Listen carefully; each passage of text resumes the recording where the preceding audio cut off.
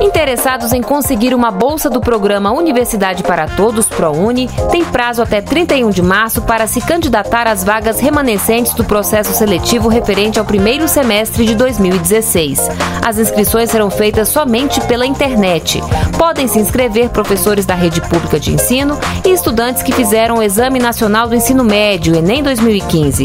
O candidato não pode ter nota zero na redação e precisa ter, no mínimo, 450 pontos na média do Enem. As bolsas remanescentes não terão efeito retroativo. Saiba mais em portal.mec.gov.br.